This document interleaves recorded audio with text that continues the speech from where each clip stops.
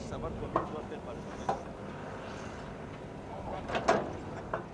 So for my understanding, we say we come 10 meters from there up to s- this. ag- Agree that this is our 10 meters, and this is go 10 meters up there, up there, a line. So this is our sanitary couloir. I think we are planning to get about 27,000 people to, to think, in all sectors, huh? Across the four sectors is around 27,000. 27,000, yeah, exactly. This is the second sector to be developed. Yeah. Uh, we're hoping to develop sector two in the near future. Okay. Because we have a plan to say which type of latrine to build here. Okay. So, and uh, we say let's start by this uh, emergency type of, uh, like what we are doing. Yep. It's the pit type latrines that we see in sector. Yeah, yeah, yeah. That will do. That will do in, in each sector. Well, congratulations on the emergency latrines, the cubicles. Yeah. It's some of the nicest I've seen. They're, they're really. I think. I think as, uh, even people are compla- no, not complaining because food or whatever whatever, but I think they have the best facility to compare to other camps. Correct. I, I mean, think oh, they have not, the not best. not just in Haiti. I've seen these things all around the world. they're, they're, uh, nicely yeah, developed. if- yeah, I- yeah, yeah, yeah.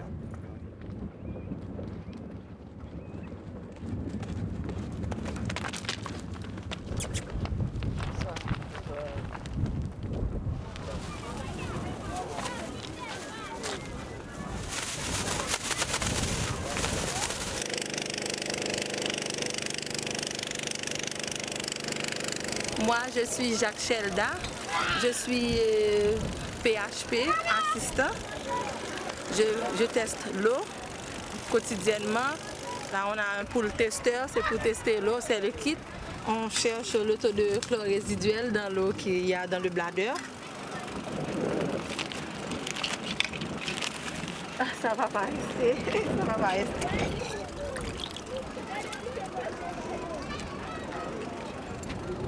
Et pour, pour ce bladder-là, c'est environ de 0,7 mg par litre. Et, le taux de chlore résiduel dans l'eau, ça peut, ça, on peut dire que l'eau est traitée et la personne, les, personnes, les personnes du camp peuvent boire l'eau sans danger.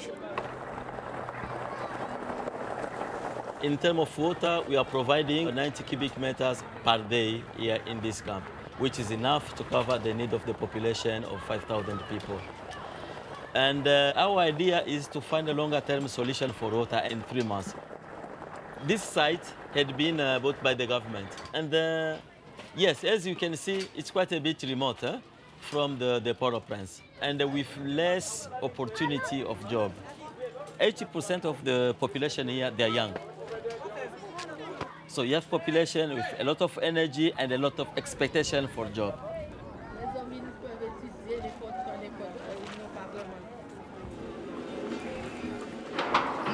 tou seve Louis Deji.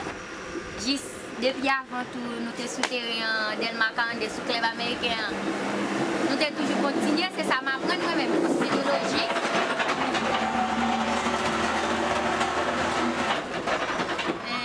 Se kosmetoloji mwen ma pren, e yon baye vreman pil.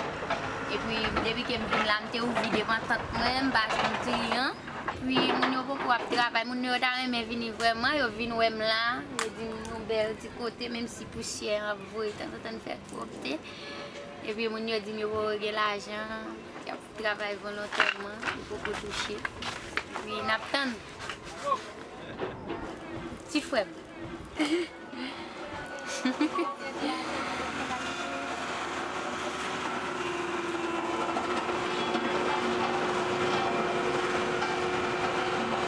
The, the, the humanitarian situation, situation catastrophe happened in Port-au-Prince, which is a city, and then to shift people from the city to bring them here.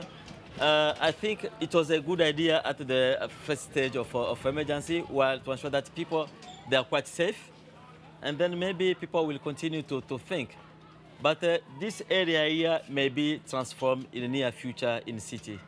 If uh, with our uh, longer plan of water system here in the area, and if the government also committed, uh, committed to, to, to what you have said that we've done, to have a good shelter here, this also and create other opportunity for maybe industries or whatever, whatever around as it's planned. If this happen, this can be another city, and uh, and I think this can be uh, can be okay.